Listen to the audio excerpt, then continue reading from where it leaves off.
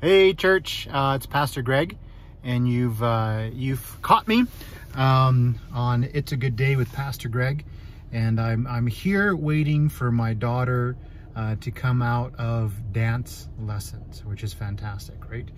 Um, but I'm here in kind of what they call the community something or other. It's kind of like community central, I guess. There's a community center here. There's the pool here. There's a community garden here. Um, there's the town office here, um, all that stuff. So it's kind of like the parking lot at the community center. I don't know. Um, if you if you tuned in on Sunday morning, you heard uh, Pastor Amy talk about spiritual teaching. It's one of the five priorities that we have at Beaverlodge Alliance. And uh, um, when she talked about it, I love the way she put it. She talked about how um, we're all teachers. We're all learners, of course. We're all teachers, though, also in every area of life, not just pastors. Believe it or not, not just pastors or people that are in uh, our schools. Um, they're not the only teachers out there. Every single one of us is a teacher. And she talked about Matthew chapter 28.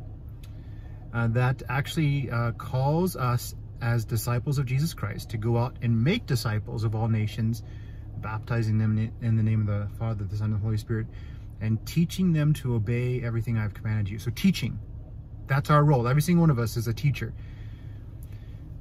And thinking about that, a wonderful sermon on Sunday, and then putting it together with um, our, our one of our priorities at Beaverlodge Alliance Church, one of the other ones, other than spiritual teaching, is community. What are we doing in our community to teach people about the gospel of Jesus Christ, to teach people that they're loved by a loving Father, Heavenly Father, to teach people that there's an answer to this crisis they're walking through right now, every crisis they walk through, to teach people um, about, about how uh, they are made in the image of God and they are precious to Him and they are loved by Him and, and that, that God sent His only Son, Jesus Christ, to earth not to condemn the world, but to save the world. What are we doing to, to teach that? Now, in teaching, the number one thing every teacher will tell you is the first thing a teacher has to do is listen. How are we listening in our community?